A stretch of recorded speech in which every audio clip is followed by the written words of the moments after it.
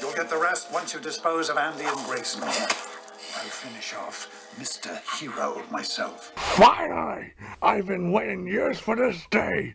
This time I'll never have to wait again. Should I finish you off myself?